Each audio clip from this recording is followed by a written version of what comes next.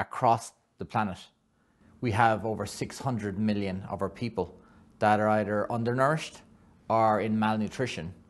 Um, the, the challenge, but also the opportunity in terms of eliminating the food waste uh, is a huge opportunity ahead of us. And if we're able to convert that food waste into using it for livestock or directly for human consumption, um, we have the opportunity to feed that 2 billion people or three times the number of people undernourished in the world today.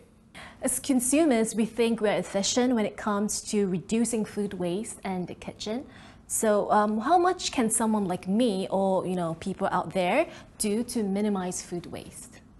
You know, we all want to eat fresh food and many of our food is okay to consume and there's no health risk, but if it's not at peak freshness, you know, many times we end up dumping it because we don't want to take that risk. Um, you know, we want it fresh and we bin the food. And if we look at um, breads, a category, 25% of consumers um, dumped bread before it actually gets in a condition that it's moldy. So this is, bread is okay, but it's, it's at that limit.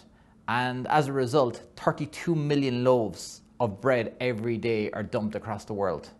What is the role of food companies like yours when it comes to minimizing food waste in the farm to fork value chain?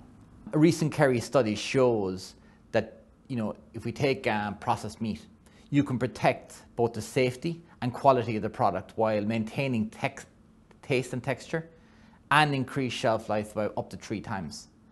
Um, there's examples, you know, both conventional solutions such as acetates and clean label solutions you know, working together with the meat manufacturers.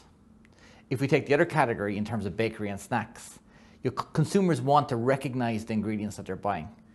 Um, you know, so we can actually extend shelf life through natural vinegar-based solutions um, in terms of consumers understanding what they're eating on the labels. So is food waste more of an issue in developing countries or developed countries? So I think, look, the challenge is different. If we look at developing markets, um, the food waste, the loss, it happens earlier in the supply chain. Where on the other side, if you look at developed markets, 40% of the food waste and loss actually is at the retailer or the consumer. So in terms of tackling this issue, look, it's, it, we all have a role in it but really to go after the full, the full opportunity, we need to look at from the farm to the fork of the consumer and look at the whole supply chain. But the key thing is, we firstly need to raise awareness. Raise awareness with the consumer, the retailer, but also the industry. And finding better ways to use the food that's thrown away today. 50% um, of food waste uh, can be prevented through shelf life extension. And a big part of what Kerry does is try to play a role in this global challenge that's ahead of our planet.